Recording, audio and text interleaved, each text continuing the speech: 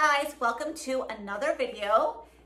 Today's topic is actually a topic that you guys have been requesting for so long and I really wanted to make sure that I had all of the information, all the thoughts down on paper so that we can dive in and I can share with you about something that's super common and that is autoimmune conditions. So an autoimmune condition, it's really a problem for people from many standpoints of I have symptoms from this autoimmune condition or I'm nervous about this autoimmune condition creating cancers.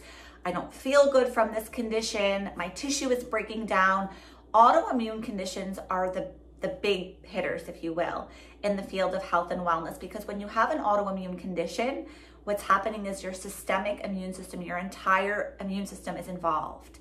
So what, you know, why that matters is because not every single problem that we develop with our health is of the autoimmune caliber. Sometimes we just develop a problem with our pancreas. Sometimes we just develop a problem with our gallbladder. But when we're having an autoimmune condition, what's happening is our entire immune system, our entire systemic body is affected. And that can create a lot of problems for people from a symptom standpoint. So, what is an autoimmune condition? Like, what's happening there? Auto means self. So we're having basically a self attack to our own immune system. And why would that happen? You know, we think about that the why. Why would I be attacking myself? And it's really from a confusing, I'm going to downplay it, but it's from a very confusing chemical process that's happening. So, what happens with an autoimmune condition is our own immune system starts to attack itself.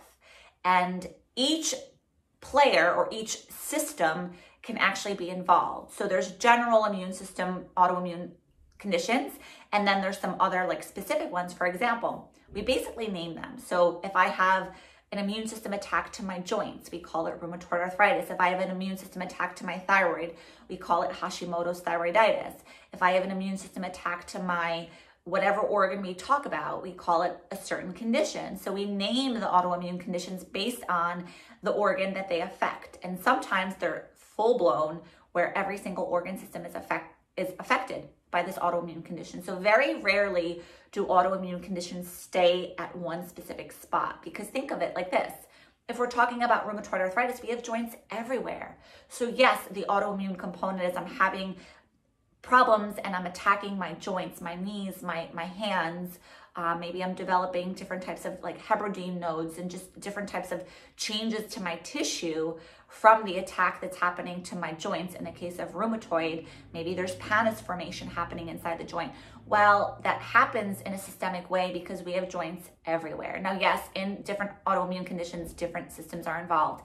Not all joints are affected in rheumatoid. There's some some notable ones. The point is that we feel a lot of problems because everything is involved when we have an autoimmune condition. So I have some notes here, of course, like usual, so I can stay on track with you guys. And I wanted to answer some of the more common questions. These ones came from Instagram. So for those of you that don't follow me on Instagram, please do, do so. That's where actually I spend most of my time. Um, what triggers autoimmune disorders? That was question number one. So let's start there.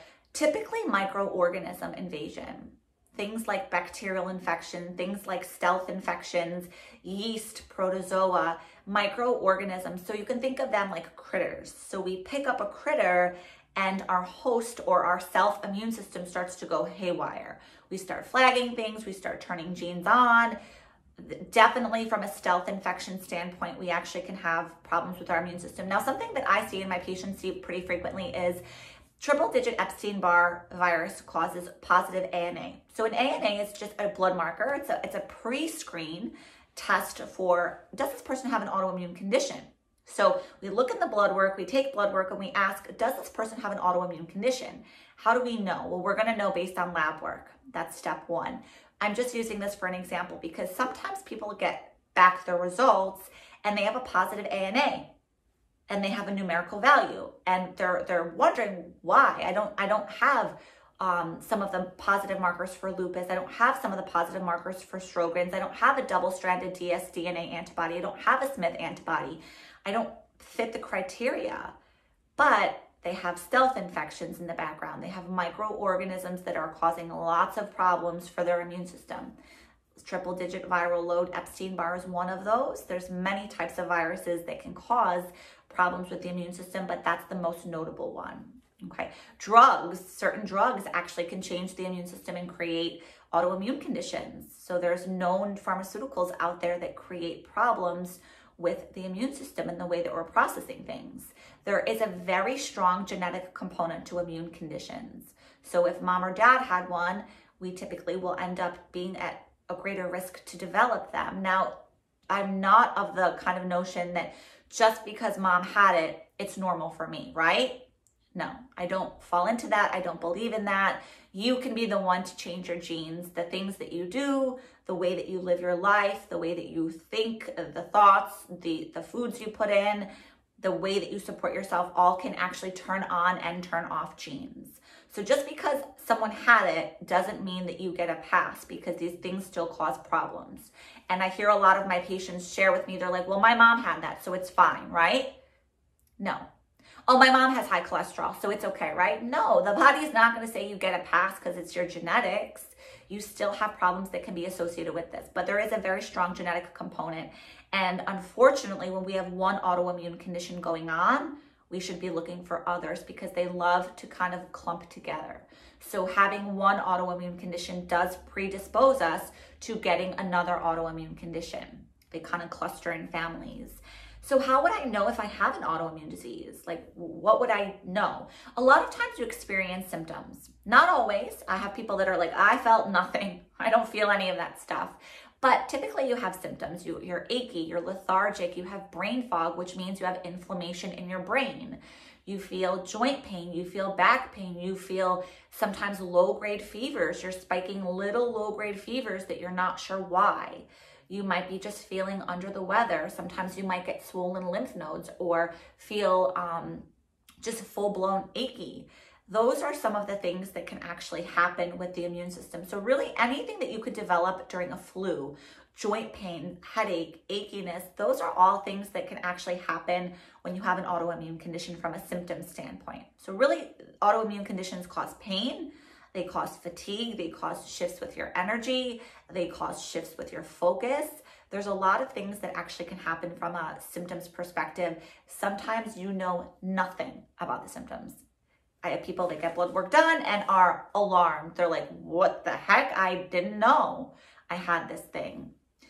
Um, so that's something that can happen as well. How do we know? We do blood work. We do some comprehensive blood work and we look, we always do an ANA. We always get the numerical value in terms of the titer load, the viral titer load or the ANA titer load.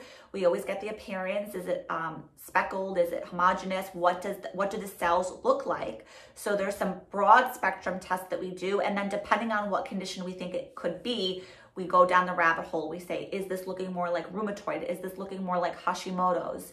Is this looking more like Graves' disease? Is this looking more like some type of autoimmune pancreatic um, insufficiency? Is this something that's coming from a digestive issue? So we, we can check the different things. Is it Sjogren's? All of these different conditions, but the broad spectrum is um, blood work. So always get tested for blood work. There's there's ways to do it. Now, a lot of people ask me, when I get regular blood work, aren't they looking for these things? The answer is no, they're not. So this is not, the autoimmune markers are not gonna come up on a conventional blood work panel. They're not gonna show up on a CBC, a complete blood count. They're not gonna show up on a CMP, a comprehensive metabolic profile.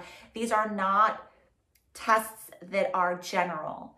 Um, although the ANA is a pre-screen, you'd have to almost suspect that someone has this before you go looking for it. So in terms of wouldn't I know, like wouldn't my doctor have told me if I have this condition based on some of my blood work? The answer is no, unless you're being strategically sought out to say, am I dealing with an immune system problem? Then probably no, okay? Um, what is the role of sleep in autoimmune conditions? Awesome question, awesome question. When you're actually sleeping, that's where you're getting a lot of immune modulation happening. So the sleep cycle allows you to repair tissue. Sleep is really, really going to be an important factor when it comes to autoimmune conditions. Now, can sleep by itself create problems with the immune system? Yes. Can sleep by itself reverse problems of autoimmune conditions? Not necessarily. It's usually not powerful enough, especially when there's an underlying um, infection. So we really want to make sure why does someone have an immune system dysregulation to begin with? Because that's step one. How do we help you heal? We have to know what we're dealing with. This, the sleep compounds are so involved though with autoimmune con- uh, conditions because that's where you're able to recover and repair. So for those of you thinking I'm getting four or five hours of sleep and I feel fine, you're not fine. You're not fine from a tissue perspective. You're not fine from a chemical perspective because you do need sleep, quality sleep. It's not so much the hours. I'm not so concerned with like I slept, you know, 12 hours or eight hours but it's more about the quality. Are you getting really good quality sleep? That's more of the component that we look at. So there is a very strong role in terms of sleep in autoimmune conditions. Somebody was asking me about using some autoimmune formulas or using some immune system formulas like elderberry, zinc, monolaurin, L-lysine, some of the autoimmune herbs, garlic, bilberry extract. Not everybody is a candidate for all herbs, especially when it comes to the immune system because certain things can actually ramp up the immune system, which is not always what we want to do with autoimmune conditions. Sometimes we want to quiet the system down. Now, autoimmune conditions can actually create symptoms that might not even appear autoimmune at all. For example, skin rashes. There's times people come in and they show me their rashes on their hands or their stomach or their face, their uh, their torso, and we might link it to an immune system component. Typically, why that happens is that autoimmune conditions create the body to have almost this massive, robust response to everything. We actually can develop food allergies over time. We start flagging food as problematic when we have underlying problems with the immune system. So we become very reactive. We start to have sensitivity to smell. All of a sudden, someone's perfume is making us super nauseous we start to have problems with digesting food, we start to have brain fog, we start to develop rashes, and we start to not tolerate things like we used to. Maybe even textures of things like certain compounds that are on our skin, or maybe we're using the same detergent and all of a sudden we're having an adverse response. Why? The immune system is heightened and it starts to flag things left and right when it's overactivated. And so, an autoimmune condition could be an overactivity of the immune system, which it typically is, or a not even overactivity, but a mismatch immune system where the immune system is just not doing what it should in different times. So, for example, this is a really good example. Kind of confusing, but I want to share it with you that when someone gets autoimmune thyroid conditions, thyroiditis, Hashimoto's thyroiditis, autoimmune thyroid conditions, what happens with their immune system is this that we typically pick up an infection, Epstein Barr. It's the thyroid virus. If you guys do not know this by now, please, please, please go back to some of my previous videos, consume some content because if you're dealing with a thyroid problem, chances are you have a virus and it's typically Epstein-Barr because that's most notably known as the thyroid virus. So we get infected with this virus. Now we actually um, have what's called seeding the thyroid, where the virus particles, for whatever reason, they go into the thyroid gland. So we have a virus that travels into our thyroid gland. And our immune system says, wait, there's a virus in the thyroid. Go, go to the thyroid immune system, do the things. We have an attack in our thyroid. So as a host, as a human, we start to mount an immune response we start to attack the thyroid, not really attacking the thyroid, we're attacking the virus that lives in the thyroid. So, with something called molecular mimicry, we mistake the actual virus that lives in the thyroid as we are attacking the thyroid. We're not attacking the thyroid intentionally. We are to some degree because we're attacking the particles that live in the thyroid through, like I said, molecular mimicry and different antigen specific interactions, different ways the immune system is saying we have trouble here in this area. So that's kind of an easy example where you guys can, can get a sense of how do infections create problems for my immune system? How, how come I'm developing this problem? There's always infection involved. I would say eight out of 10 times with an autoimmune condition. So those are really some of the more general things that if you're dealing with an autoimmune condition, get your blood work tested. It has to be done from a a thought process that we're thinking of your immune system. It's not going to be from general blood work testing. If you suspect that you have symptoms of an autoimmune condition, do the blood work. Absolutely. How do we support the immune system? So let's just pretend that someone's like, yeah, I have this massive immune system thing going on. Enzyme replacement therapy is always going to be in your forecast if you're dealing with an autoimmune condition. There are ways that we can support quieting down the immune system or helping it to not be as reactive or helping it to not be as responsive. So enzyme replacement therapy, for those of you guys that don't know, that's what I practice. Enzyme therapy helps to heal tissue. They help, enzymes help to repair any damage from a metabolic standpoint. Supplements are typically not strong enough for autoimmune conditions, especially when we're dealing with stealth infections as the causative agent for the immune system dysregulation. So that would be definitely something to look at. Now, taking pharmaceuticals, they help symptoms. They don't stop the autoimmune component from happening. In certain conditions, there are some heavy hitter drugs that, yes, they can quiet down the immune system, but it's kind of like I wouldn't say trading your soul to the devil, but you're bargaining because when you start some of these immune system heavy hitting drugs and pharmaceuticals, a lot of side effects are associated with it. So, yes, you might quiet your immune system down, and not always. I, see a lot of people on some heavy hitter drugs that they have no cortisol left. They produce none of their own because they're on so much prednisone and so much cortisone. They're on so many anti um. Basically, the doctors are trying to just quiet and calm the immune system. You do run the risk at turning it off completely. And then what do you do when you have no immune system? So there's a very fine line. What I would suggest, of course, being a holistic provider, is you want to try all of the natural things first before you take out the heavy hitting drugs because once you start those things, it's very difficult sometimes to come off of them. I'm not against them. People need them. People need pharmaceuticals. I'm not against that. But when you go down that rabbit hole, you actually start to have problems with organs. Now you need to make sure that every couple months your kidneys are being checked. Now you need to make sure every few months that your liver activity, your liver enzymes are being tested for because these compounds, these drugs are very toxic to the body. So if you are suspecting that you have an autoimmune condition, I'm just encouraging you that there are so many ways to support yourself from a non-conventional standpoint through not using pharmaceuticals. And typically it's through enzyme therapy. I don't want, really want to talk too much about that because it's a different video, but I'm more than happy to share with you guys about enzymes.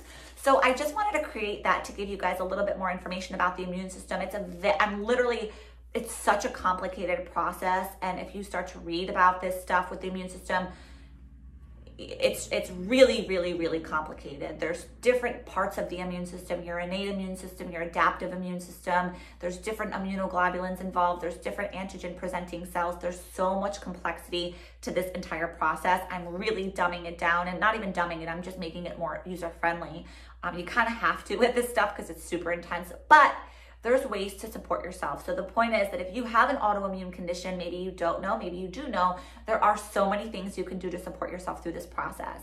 From nutritional standpoints, you can definitely implement some awesome strategies to quiet the immune system, certain enzymes, metabolic enzymes, lymphatic enzymes, getting rid of infection, uh, triple digit viral load is also something to do. So there's so many things that you can do to be proactive. So I hope that you guys found this video helpful and have learned a little bit about immune system dysregulation and autoimmune conditions in general. And like I said, thanks for tuning in. But also, if you have other questions, please let me know if you're interested to uh, have me make a video all about enzyme therapy. Let me know. See you guys in the next one.